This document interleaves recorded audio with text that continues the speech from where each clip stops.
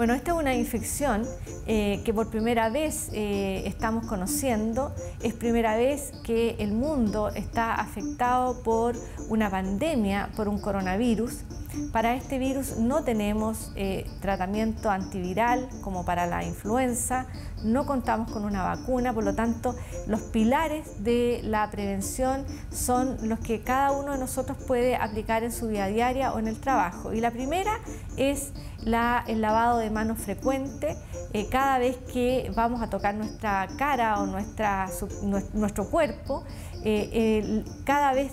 que yo toco alguna superficie, cada vez que llego a la casa, llego al trabajo o me voy de mi casa o, o, me voy de mi lugar de trabajo. Por lo tanto, la eh, medida más importante es tener las manos limpias eh, con agua y con jabón o alcohol gel cuando no dispongo de facilidades para hacer lavado de manos con agua y jabón.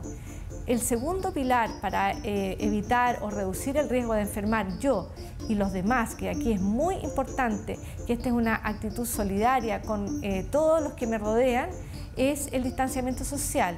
Y el distanciamiento social se refiere a evitar en este periodo que nos está afectando esta enfermedad, estar eh, en lugares hacinados. Lo óptimo es, ojalá, ventilar lo que más podamos nuestros hogares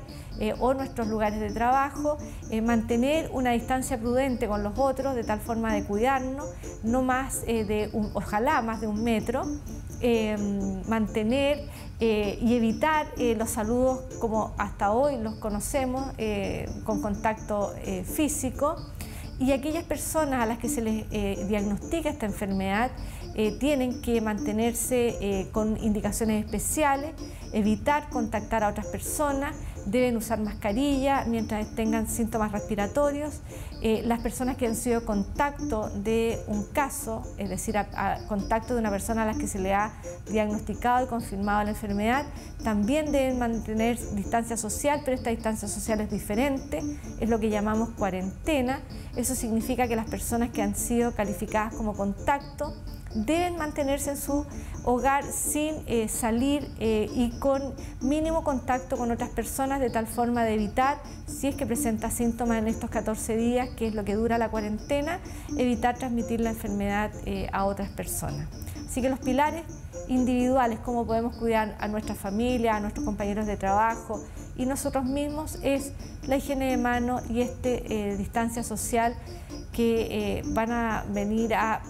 mitigar de alguna forma eh, la eh, diseminación de esta infección.